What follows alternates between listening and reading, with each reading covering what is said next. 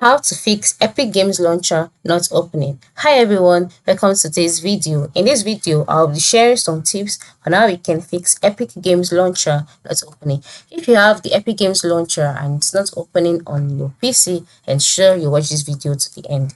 Now the first step is to log in um to open up your pc all right and then once your open your pc has loaded next step is to go to the windows button and then you click on it after clicking on it this way, move to the search bar and then type out task manager.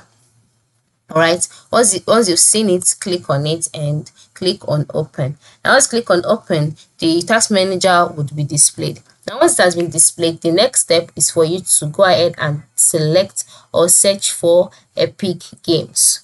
Alright.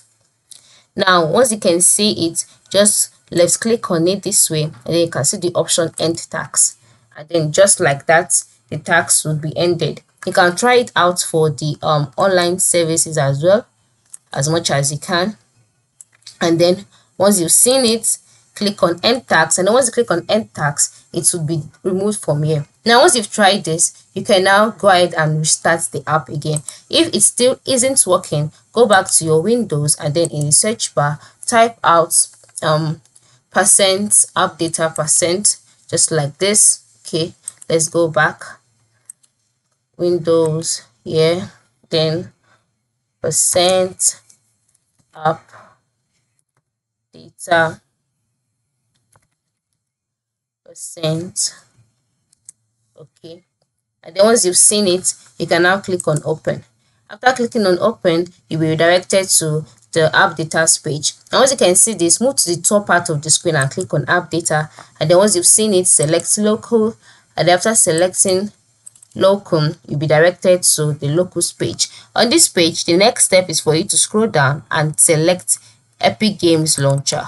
Once you've selected it you'll be directed to another page. On this page click on save and then click on web cache all right now once you click on web cache you can see the number of cache that you have in here so you can just decide to go back to save and then you can now left click on this and then delete this cache all right so once it's deleted you can now go ahead and restart your epic games launcher again to see if it would open. Now once you've tried all of this and um, it's still not working you can now try uninstalling and reinstalling the epic games launcher. Once you've tried this definitely the epic games launcher will be running perfectly on your PC. So this is how you can fix Epic Games Launcher not opening. Thanks for watching and have a nice day.